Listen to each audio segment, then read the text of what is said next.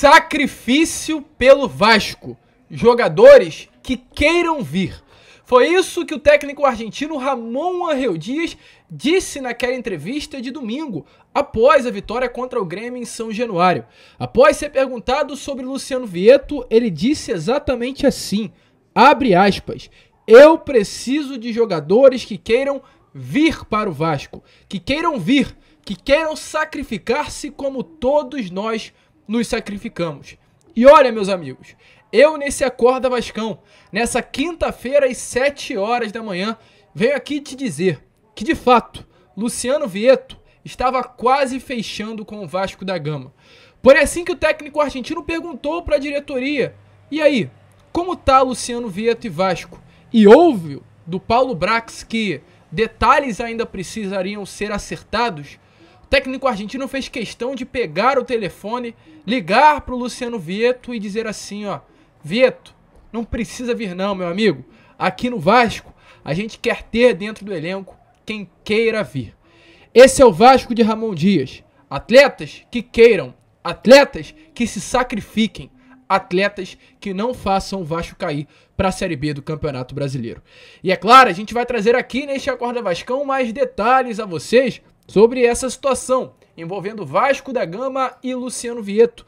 Falaremos também sobre os próximos passos do Vasco da Gama no mercado da bola. Muita agitação até o dia 25 de agosto. Novos reforços desembarcarão, perdão, na colina histórica e a gente trará informações a vocês aqui neste Acorda Vascão. Porém, meus amigos, antes de começar o vídeo, antes de deixar você aí muito bem informado sobre o nosso Cruz Maltino, como sempre fazemos no nosso canal, eu quero dar as boas-vindas a todos que estão chegando aqui pela primeira vez. Para quem não me conhece, eu sou o Lucas e você está no canal do Gigante Vasco, o canal do torcedor vascaíno. Rapaziada, é o seguinte, a gente está na meta, no objetivo de chegar aos 106 mil inscritos. O sexto mil após os 100 mil, né? E a gente conta com você. Porque, olha, falta pouco. A gente chegou anteontem aos 105 mil e falta pouco para a gente chegar nessa próxima marca. Então, você que está aqui pela primeira vez, dê esse voto de confiança ao nosso canal. Se inscreva aqui embaixo, ajude aí o crescimento do canal do Gigante Vasco.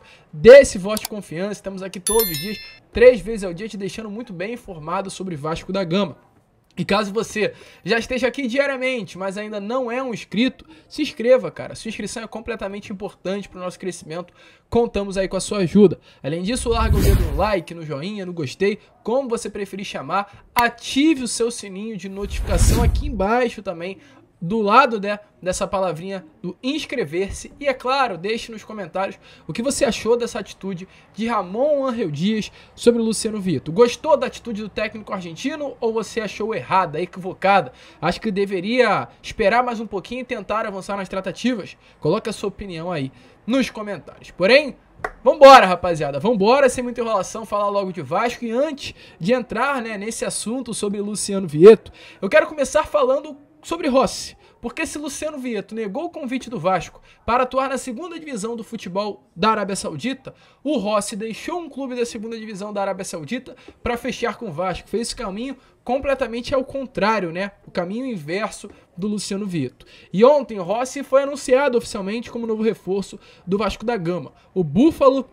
ontem novamente foi oficializado como reforço do Cruz Maltino. O atleta aí acerta sua chegada até o final de 2023. O contrato dele vai até dezembro deste ano, com opção de renovação por mais um ano de contrato até o final de 2024. Ele que nesta última temporada, como a gente já trouxe a vocês no Boa Noite Gigante de ontem, vestiu a camisa do Al Faisali, clube do futebol árabe. Ele é o sétimo atleta aí que chega nesta janela de transferências para reforçar o elenco do técnico argentino Ramon Angel Dias. Importante trazer aqui a vocês. Na última temporada, com a camisa do Al-Faisali, Ross teve oito partidas e marcou oito gols. Um atleta que foi muito bem de fato, mas é importante pontuar. O Al-Faisali estava disputando a segunda divisão do futebol árabe, não era a primeira divisão, era um campeonato com um nível muito menor, né, do que é claro qualquer outra liga do futebol mundial, mas importante trazer que ele se destacou. Pior seria se ele disputasse a segunda divisão do futebol árabe e não tivesse nenhum destaque. Ele disputou, mas conseguiu destacar oito gols marcados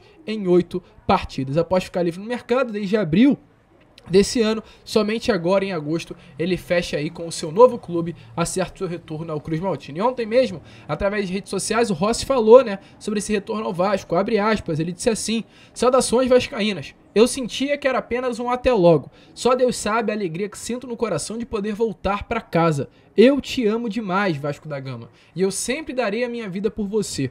Vamos juntos. O Búfalo voltou para casa. Então, Rossi oficializado como novo reforço do Cruz Maltino. Expectativa grande para que já nessa próxima segunda-feira Rossi venha estar à disposição da comissão técnica do Ramon Angel Dias. Expectativa grande para que ele venha ser regularizado hoje, entre hoje e amanhã, que é a data limite. Mas o grande problema hoje não é a questão da regularização do atleta, sim da parte física. Como a gente formou a última partida do Rossi de forma profissional com a camisa do Al Faisali foi no dia 14 ou 22 de abril desse ano. Então fazem quase quatro meses que o Rossi não entra em campo de forma profissional. Com isso, é claro, né? Não sabemos como está a parte física dele. A informação que nós temos é que ele vem surpreendendo positivamente nos treinos, no dia a dia, mas não sabemos se ele está com ritmo de jogo. Então, com isso, ainda há expectativa, ainda há essa incerteza se Rossi estará à disposição fisicamente para a partida da segunda contra o Red Bull Bragantino ou ainda será necessário esperar um pouco. O que eu tenho a te confirmar nesse Acorda Vascão.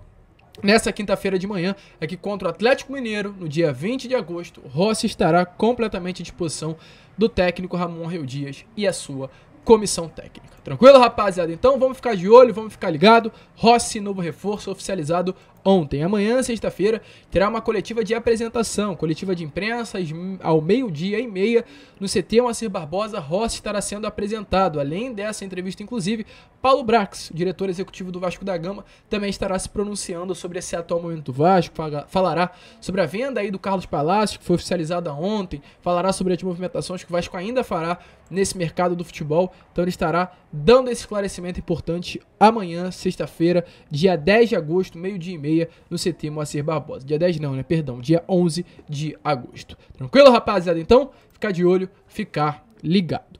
Mas, meus amigos, ontem o Rossi foi anunciado. E o que eu tenho a trazer a vocês é que Vasco não parará por aí. O Vasco não irá parar em Rossi, virá mais pela frente. Novos reforços chegarão à nossa colina histórica, que como a gente vem informando a vocês com certa frequência. Já já vamos entrar no assunto sobre o Luciano Vieto, fiquem tranquilos, mas eu quero primeiramente falar sobre isso. Já estamos informando a vocês com certa frequência. A expectativa é que até quatro reforços cheguem à colina histórica até o dia 25 de agosto. Data limite e o futebol brasileiro estará aberto ainda para regularizar atletas. Quais posições o Vasco hoje busca no mercado, Lucas? O Vasco busca um camisa 10, o Vasco busca um volante, um camisa 5, né? Como é chamado popularmente. Popular, popularmente. O Vasco busca um zagueiro que atue pelo lado direito, tem a características de lateral, saiba defender, mas saiba atacar também, tem essa dupla função. E busca também um atacante. Mas o atacante não é a prioridade, até porque hoje a gente já tem, né? Um camisa 9 de excelência no nosso ataque, que é o Pablo Verrete. Chegou na quinta no Rio de Janeiro, sexta-feira foi regularizado sábado fez o seu primeiro treino e domingo marcou o gol na estreia que deu a vitória ao Vasco. Então, atacante, centroavante nós temos. O que falta mesmo hoje, até na minha opinião, além desse primeiro volante, é um camisa 10 para pifar essas bolas. Poderia ser Luciano Vieto, mas Ramon Dias não quis. Sim, Ramon Dias não quis Luciano Vieto no Vasco. Calma que a gente vai explicar essa situação. E com isso, o torcedor Vasco tem aí mais 15 dias, contando a partir de hoje, para avançar nas tratativas por esses nomes. Eu adianto aqui a vocês, se esse papel de busca por reforço no mercado era apenas do Paulo Brax, hoje esse papel está sendo também por, feito por parte né, da comissão técnica, principalmente por Ramon Arreu Dias e o seu filho Emiliano Dias. Reforços que chegaram nesta última janela de transferências já tiveram a participação ativa do Ramon. Vamos relembrar? Praxedes, atleta, meio campo, que hoje vem sendo um dos grandes destaques desse sistema de meio campo do Vasco, teve a participação de Ramon Rio Dias. Quando o Red Bragantino veio atuar contra o Botafogo aqui no Rio de Janeiro num sábado à noite, Ramon Rio Dias fez questão de, após essa partida no Newton Santos, sentar com o Bruno Prachedes, apresentar o projeto Vasco e deixar bem claro ao atleta que gostaria de contar com ele. Somente após essa conversa do Ramon com o Prachedes, Prachedes fechou acertar com o Vasco da Gama. Além do Praxedes, Sebastião Ferreira, um atleta que o Ramon Dias ligou, tirou ele do Houston Dynamo lá do futebol norte-americano e trouxe a colina histórica. Paraguai que trabalhou com o Ramon no Libertar. Para por aí? Não, não para. Pablo Berrete, atacante de 34 anos, artilheiro do Campeonato Argentino, um dos principais nomes do Campeonato Argentino, o principal nome do Belgrano. Foi um atleta que Ramon Rio Dias também pegou o celular, ligou para o atleta e fez com que ele desembarcasse na cidade carioca. Eu mesmo fiz questão de entrar em contato com o empresário de jogador e perguntei: o Ramon teve realmente essa participação direta? E ele me respondeu: essencial. Essencial foi Ramon Dias. Cravo aqui a você, torcedor. Se o Vasco não tivesse Ramon Dias, o Vasco não fecharia com o Pablo Verrete. O Vasco não fecharia com o Sebastião Ferreira. O Vasco não fecharia com o Bruno Prachete. E não fecharia com outros nomes que chegaram aí à nossa colina histórica. Essa é a influência de Ramon Dias. Essa é a influência de ter um técnico tão pesado como esse que temos hoje. E dessa mesma maneira que ele foi influente nessas tratativas, também está sendo fundamental em outras tratativas que hoje acontecem e se desenrolarão até o dia 25 de agosto. E olha, meus amigos, eu já adianto aqui a vocês: se o pensamento, se a ideia da empresa norte-americana para o Vasco da Gama era trazer atletas jovens que evoluíssem no Vasco e viessem a ser vendido nesses próximos anos, a ideia agora é outra. Ramon Dias já deixou bem claro para a empresa norte-americana, já deixou bem claro para Vasco SAF, que é no caso do departamento de futebol, que a situação do Vasco da Gama nesse momento é outra. O Vasco não precisa de jogador jovem, o Vasco precisa de jogador experiente. E nesse momento, o treinador mudou completamente o perfil de busca dos nomes que o Vasco vem fazendo no mercado do futebol. Não tem essa de jogador jovem. Agora é jogador experiente para dentro desse elenco, trazer bagagem, trazer rodagem. Se o interesse da SAF é investir em atletas mais jovens para revendê-los no futuro, o Vasco nesse momento não tem esse pensamento. Ramon Dias deixou clara a necessidade hoje do Vasco da Gama trazer atletas mais experientes e não vai abrir mão disso. Importante falar, vocês lembram o que aconteceu lá no início da temporada? Quando o Sacha estava na mão do Vasco, mas o 777 rejeitou a chegada de Eduardo Sacha por achar um atleta velho, Ramon Dias já deixou bem claro. Olha só, aqui agora o Vasco precisa de atleta experiente. Não tem essa de novinho, não. É 34 anos o Pablo Herrete? Traz, não importa. 34 anos tem que trazer. Talvez se fosse Barbieri, isso não iria acontecer. Porque Ramon Dias tem peito para botar na mesa e falar: vai trazer e ponto. Eu não tô aqui, se não me trouxeram para cá, então agora vai ter que sustentar. Eu quero o Pablo Herrete e ele virar o Vasco. Isso aconteceu.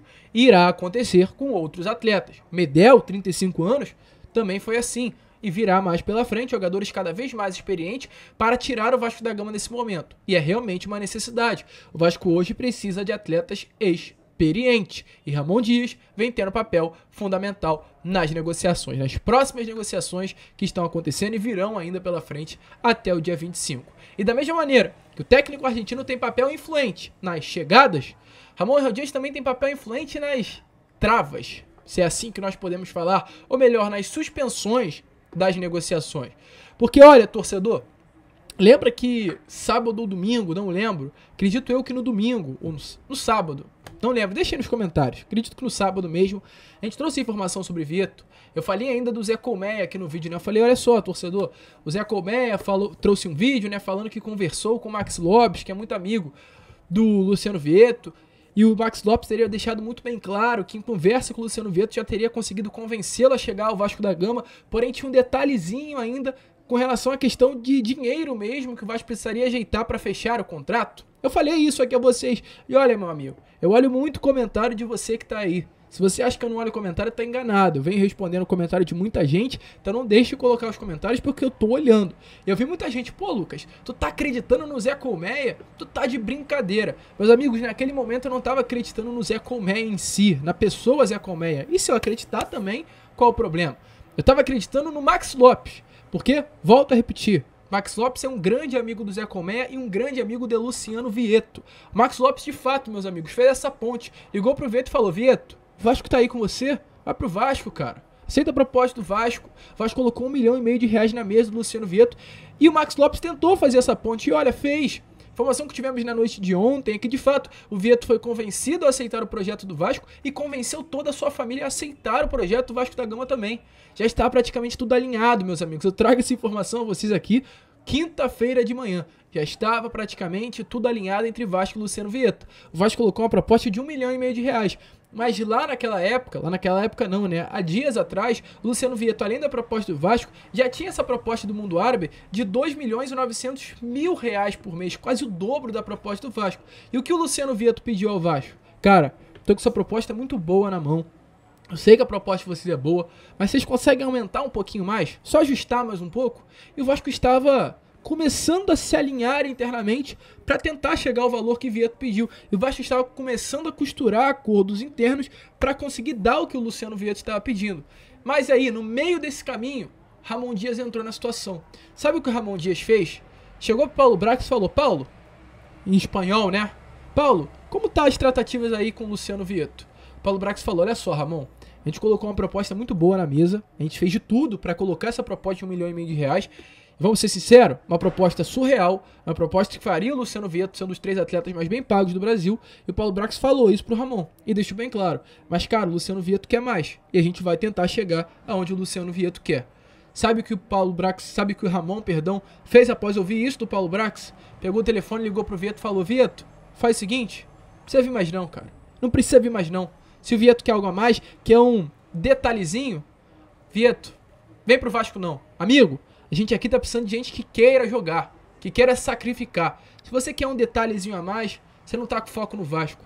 Pode ficar aí. A gente se encontra em outro momento. Aqui no Vasco não é a, a boa, né? Pra você agora não. Desligou o telefone e ali mesmo as negociações foram encerradas. Ou seja, desculpe pelo barulho, mas vamos seguir.